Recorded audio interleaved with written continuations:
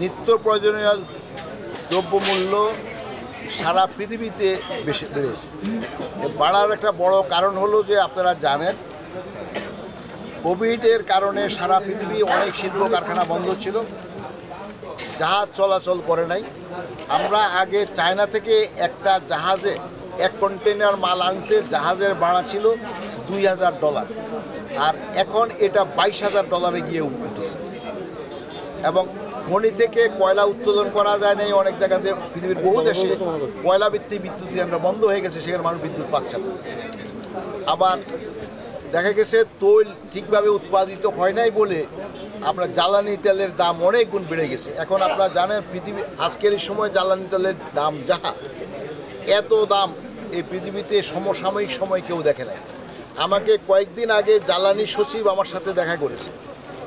আমাকে বলল, স্যার যেহেতু আমি আগে বিদ্যুৎ জ্বালানি স্ট্যান্ডিং কমিটির চেয়ারম্যান ছিলাম, তিনি আমাকে বললেন যে, স্যার, আমরা, আপনি থাকতে ষোলো ডলার দিয়ে আমরা এলপিজি কিনেছিলাম, ষোলো ডলার এলএনজি অথবা এলপিজি সেটা এখন চল্লিশ ডলারে তারা কিনতে হচ্ছে। তো সে সমস্ত কারণে স্বাভাবিকভাবে এই নিত্য প্রয়োজনীয় পণ্যের দাম বাড়বে এবং আমরা অনেক পণ্যের, আমাদের শিল্পের যে সমস্ত কাঁচামাল, এগুলো সবগুলোর দাম বেড়ে গেছে। বাংলাদেশে না। এবং বিশেষ করে আমি যদি ইউরোপের অনেক দেশ, আপনার ইংল্যান্ডে অনেক জায়গাতে দেখা যায় খাদ্যদ্রব্য তারা পায় না, টাকা দিয়েও পায় না। এই অবস্থাটার মধ্যে দিয়ে আবার এখন ইউক্রেন এবং রাশিয়ার যুদ্ধ চলছে। সে কারণেও অনেক জায়গা থেকে অনেক পণ্য আনা বন্ধ হয়ে গেছে। এখন প্রশ্ন হলো যে আপনার ইউক্রেনের যুদ্ধ এখন লাগছে, এতে করে আরও ভয়াবহ পরিণতি হয়তো সামনে আসতে পারে। কৌশলগতভাবে আমরা এখনও অনুকূল অবস্থায় আছি। এখনও কৌশলগতভাবে আমরা অনেক অনুকূল অবস্থায় আছি অনেক ভালো আছে। অন্য দেশেরগুলোর তুলনায়।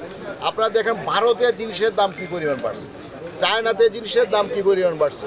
ইংল্যান্ডে কত বাড়ছে? সিঙ্গাপুরে কত বাড়ছে? এটা তো বাংলাদেশ তো বিচ্ছিন্ন একটা দেশ না। আপনি ইচ্ছা করলে বাংলাদেশে তো আপনার কোনো জিনিসের পণ্যের দাম তো আলাদা কিছু করতে পারবে না।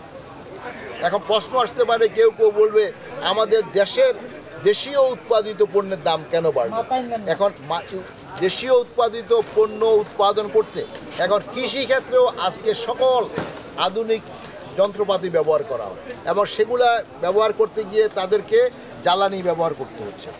আর অন্য অন্য সেও আবার বিভিন্ন পণ্য ক্রয় করে নিয়ে আসে। এবং সে সমস্ত পণ্যের দাম বেশি পড়ে। এখন সেক্ষেত্রে এই সমস্ত কারণে আমি মনে করি বাংলাদেশের যে অবস্থা, মানুষের জন্য কষ্ট হচ্ছে, এর জন্য আমরা এটার জন্য অত্যন্ত সমবেথী মানুষের সাথে, মানুষের এই যে দ্রব্যমূল্য বাড়ার কারণে।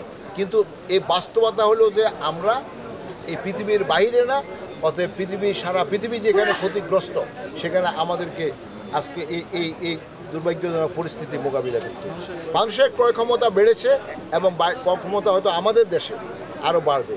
আমি একটা কথা বলি, আমাদের দেশে মানুষ এখনও কিন্তু আমরা অন্য পৃথিবীর তুলনায়, যেমন অন্য অন্য অনেক জায়গাতে আছে যে তারা ক্রয় করতে পারছে তাদের আয় হয়তো আমাদের থেকে বেশি, কিন্তু পণ্যের মূল্য আরও অনেক বেশি সেখানে। যেমন আপনি ইংল্যান্ডে আপনার একশো দেড়শো পাউন্ডের নিচে আপনি এক কেজি চাউল কিনতে পারবেন না। একশো দেড়শো পাউন্ড মানে হলো একশো সোয়াশো টাকা দুশো টাকা, দেড়শো টাকা। তো অতএব আমি জাস্ট একটা উদাহরণ দিলাম। আমাদের কিছুদিন আগে একজন আমাকে বলেছেন যে আমাদের দেশে কিছু সবজি ইংল্যান্ডে রপ্তানি করা যায় কিনা, দ্রুত।